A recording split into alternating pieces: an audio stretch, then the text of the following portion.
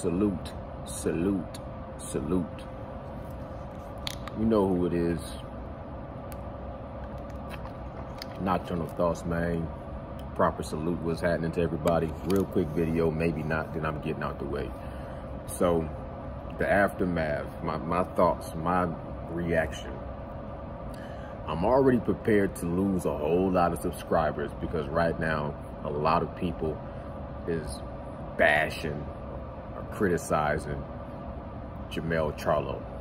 And in a way, I'm really not going to do that. In a way, I'm kind of coming to his defense to a certain extent.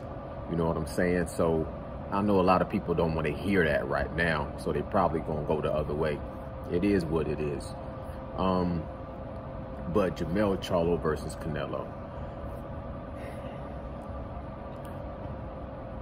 You know, call itself the Lion, Lion's Den, and after you lose, people gonna come out with all the, you know, you a cub, or you a cowardly lion. Um, just gonna reverse it. So whatever your monarch monarch is, or whatever, whatever, whenever you a fighter, and you whatever little slogan you try to live by, when you go out and you lose, everybody usually just gonna flip it. It's kind of, it, we all do it. It's not creative. It's not really original. It's just to be expected when you lose. You know, you go, oh, you a kitten. You're not a lion, you a kitten, you a cub. You purr like a cat, you a cowardly lion, etc., so on and so forth. That's just the way the game is. Um, did he disappoint his fans? Did he just did he did he disappoint boxing fans? Yes, he did. Um, but I don't feel like it's fair to overly criticize him or crucify him. You know, I just I can't do it. Yeah, I can't salute his performance. That wasn't that wasn't a performance that you can salute. But that's not a performance I feel like you should you should just uh, you know off with his head, decapitate him. You know, he's trash. He's he's he's he's a coward. He's this and he's that. And I can't do that to that level. I feel like that's overkill, especially in this situation. We, if you boxing fans and you follow, then you should look at it like, first of all, not every gladiator battle goes to the death, goes out on the shield. Not every warrior, every battle that they go, they most warriors got that one battle, that one rival where you know it's kill or be killed and it should go to somebody going out on a shield. But not all battles come to that conclusion. Not all battles go like this. Some, you know what I'm saying? Um, that really was never his battle. That was never his shield to go out on. You asking a man to climb a, to die on that hill, die on that mountain. That was never technically his mountain to climb. In the first place, of anybody's, it was his older brothers or his, the bigger twin. That was Jermall Charlo's fight. That was his battle to fight. That was his shield to go out on. That was his mountain to climb. Honestly, and even in the build up to this fight, you could see they tried, you tried to, it was thin. It was a very thin little story narrative that you could kind of stretch and undisputed versus undisputed. But that was a stretch. That was a stretch. Even Canelo really couldn't find a way. Like he, him and his brother doubted my skills. They was talking a lot of shit. So I had to prove, to him that I, my skills are real. And it's like, his, that just was a very thin story. Like there was really never any uh, build up or issue or, or real conflict between Jermell and Canelo. You know what I'm saying? So it was to me, that really wasn't Jermell in a sort of a way daring to be great, but really it was more like stepping up to a challenge. And technically the challenge was really never his to begin with. So that to me is asking a lot for somebody to to go up two weight classes off of a layoff dealing and, and coming back from a hand injury, a broken hand, right? And I know people, oh, he said he a lion, he a lion. He wasn't fighting like a lion. He was this, he was that, he tucked his tail, he was cowardly lion. And I get that, I understand that. Like he didn't fight with the ferociousness of a hungry lion. First of all, when you talk about lions, you know, I love watching Animal Planet, Predators, Animal Kingdom, and how that shit goes, predator versus prey. When you look at lions, lions don't always, they don't normally hunt the bigger prey. Usually the bigger prey is safe. They usually hunt the smaller prey, the, the youngest prey, an injured animal, but they're usually going for the weakest out of whatever they hunting, whether it be antelope or whether it be uh, if it's a bigger animal, it's usually a baby fresh out, barely walking. You know, they normally don't attack. They normally don't try to attack bigger animals. And when they do, it's when they on a when it's desperate, when they starving. So you got a, a full lion, like lions you can see can be domesticated as well. You see these rich Saudi oil people with lions. You know, you know Tyson had Siberian tigers, but you know, you see people with lions like house pets. Lions can be domesticated, you know what I'm saying? But you seen Jermell Charlo going up to this fight, leading up to this fight, it wasn't like being ferocious. It wasn't like being, I'm a hungry, starving lion. You could see he had a different approach. He was a lot more docile and laid back and domesticated. And even in his all access, it was him with his family. He wasn't going into this Clubber Lang mentality training, you know what I'm saying, in the in the dungeon, looking at, you know, like I'm just dead set on this Canelo and I'm a, I gotta destroy him. He's been on my radar for years and this is my mountain. I gotta defeat this mountain. That was never the case. So even leading up to this fight, you could tell that he was like respecting the situation, trying to process and, and overcome the situation, not letting it get too big. And we've seen in the past where even when he fought Brian Castaño for Undisputed the first time, the, the moment seemed like it was too big and he had to make adjustments for the second fight. You see him when he fought Tony Harrison, he he didn't just separate and and and, and secure that victory. He had to come back and make adjustments and do better the second time. It's like a B student that when they get a B on the test and they get a chance to study and retake it, then they can get an A. So going into this fight, we've seen Jermell Charlo come back from a hand injury. That's one thing I'm a salute because coming back from a, a, broken hand and you a boxer, that ain't even nothing to just sneeze at. That's not nothing to just just brush to the side and be like, oh, he just came back from a hand injury.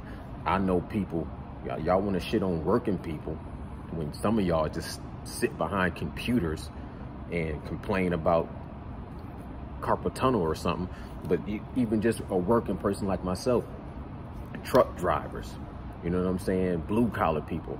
I've seen them deal with a rotator cuff injury and damn near never come back to work or a back injury and damn near never come back to work or you, you stub your toe and damn near never come back to work. So somebody, a boxer, and they break their hand to come back and fight, I gotta salute that off the rip. Canelo has injuries too. Salute that off the rip. To go up two weight classes, I salute that off the rip. Because, come on, let's be honest, in America, most of us are unhealthy than a motherfucker. And most of us can't even lose 15 pounds.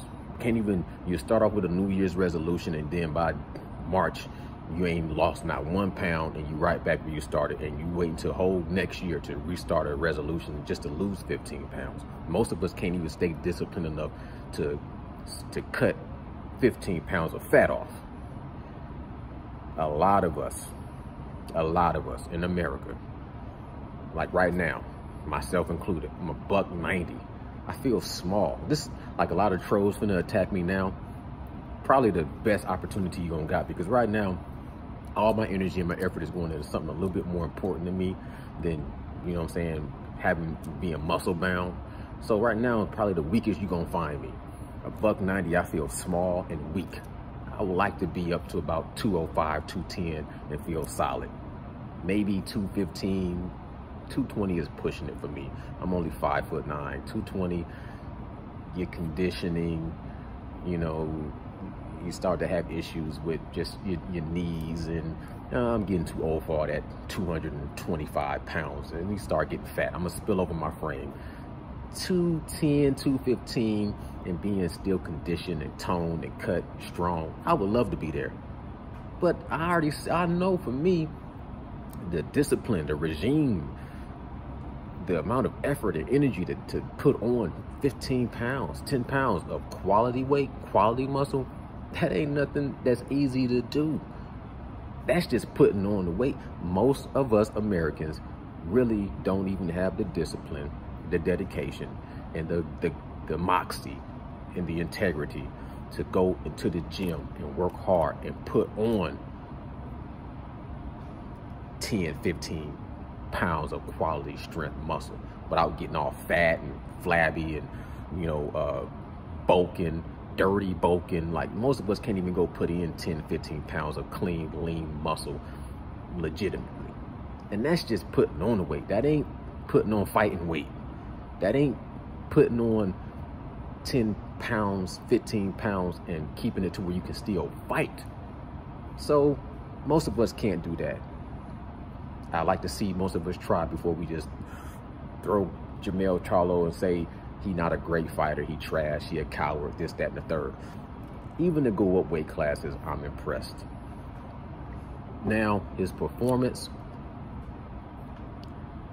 fighting to survive, not um, not going all out, not not um, you know, not putting that that if he would have put in that extra effort, couldn't win. He was outgunned. But if he would have just put in moments where he would have sold out, moments where he would have went for broke, I think he still would have kept the, the fans' respect. You know, if you didn't, if you didn't if you didn't like fight just to survive and then say, well, I didn't get knocked out. I think that's where the fans is just, you know, they going that they that just stuck in their mind. That's that's you know, that just echoed in their mind where they like, you went in here just for a cash grab and you went in here to survive 12 rounds.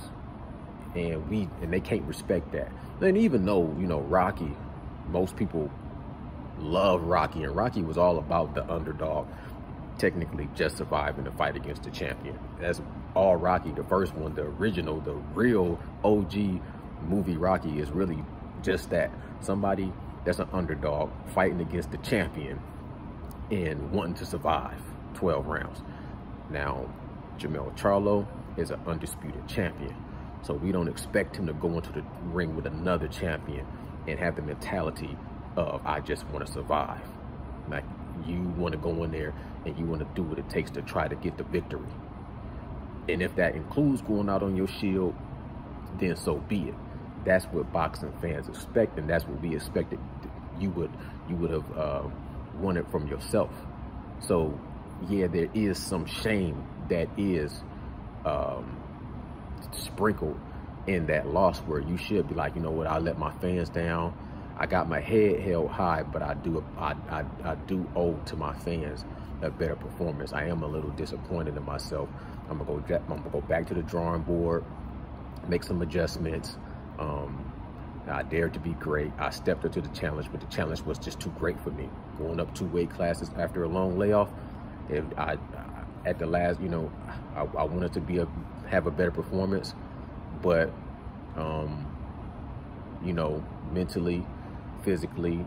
It was it was too tough of a challenge, and in the fight, I, I felt his power. I did not want to get knocked out and humiliated, um, and I wanted to see if I could fight to survive and maybe find a moment and where I could have more um, display more of my, my skills. He didn't say that. I don't know how you could respond after a loss and say the right words. Sometimes it takes, when people make a mistake, you got to have a whole PR team come up with a whole prepared speech to say the perfect words to kind of spin stuff around to make you look a little better. So what we got from him at least was raw and authentic. He was like, I didn't get knocked out like the other guys, which he didn't.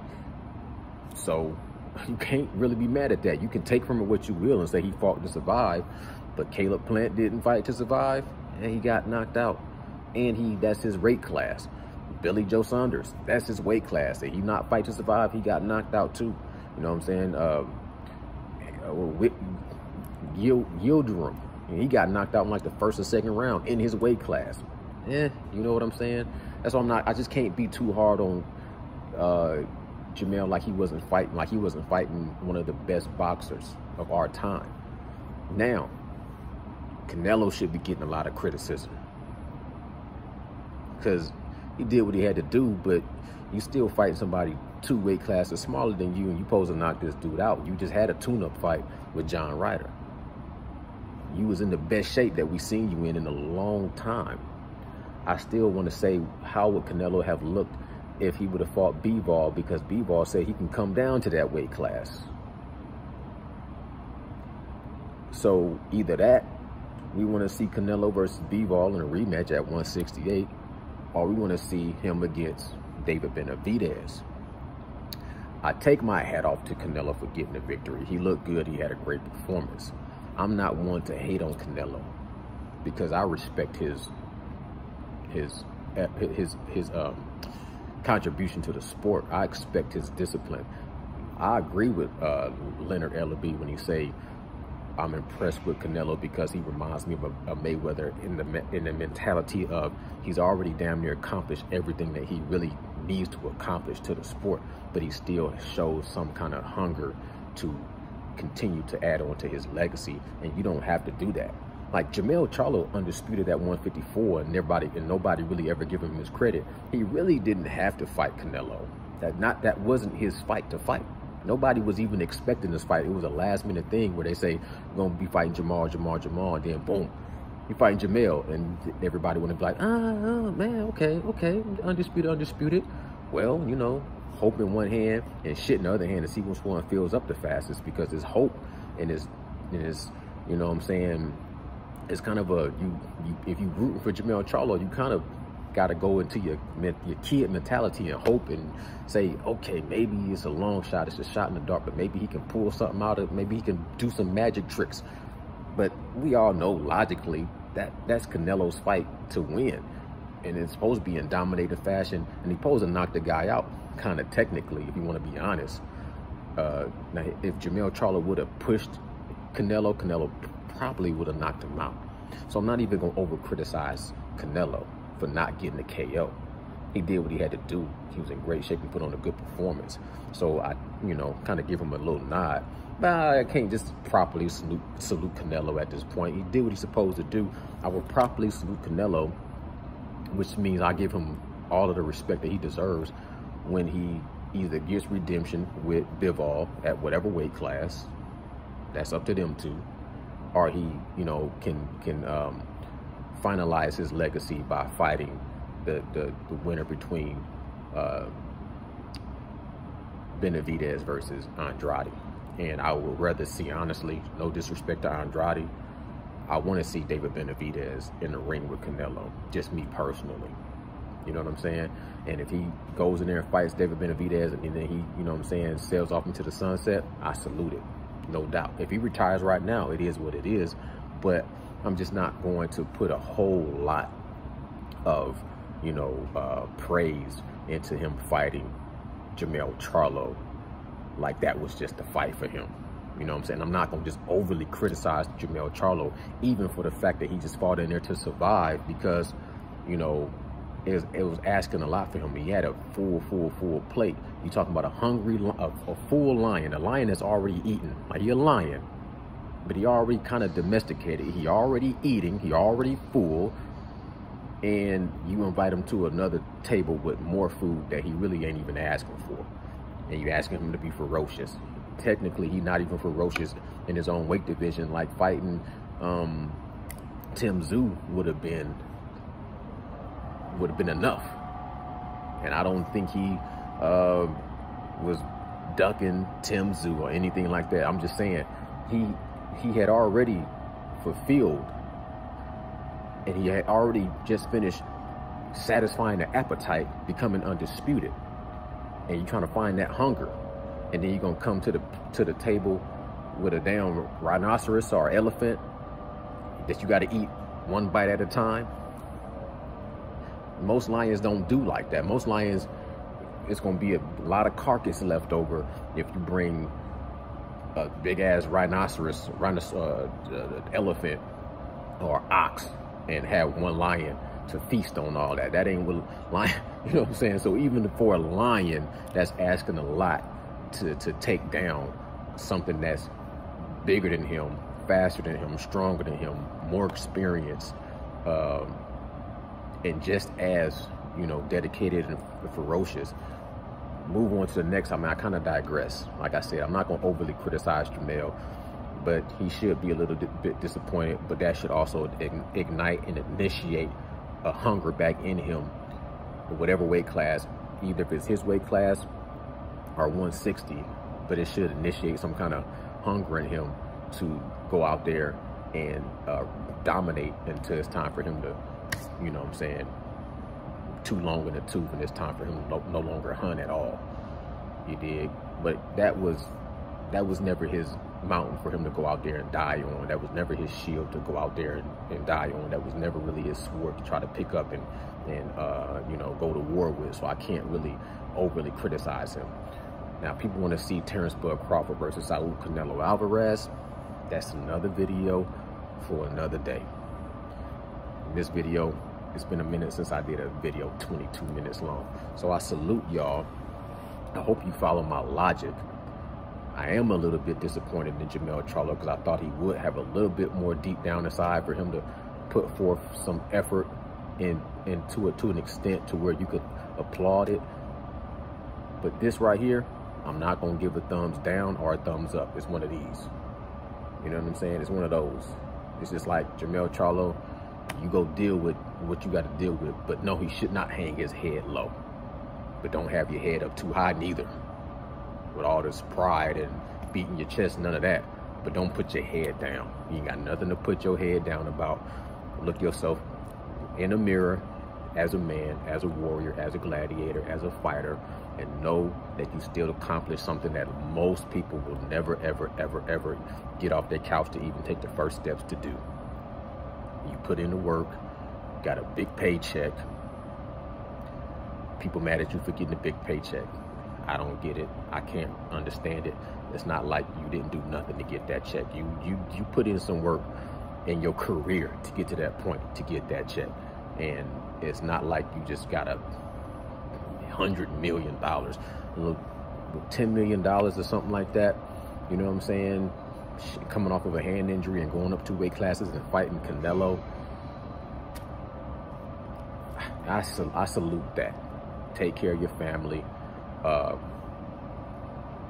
I hope hope that you ignite a hunger to go off and do some things to get more redemption from the fans.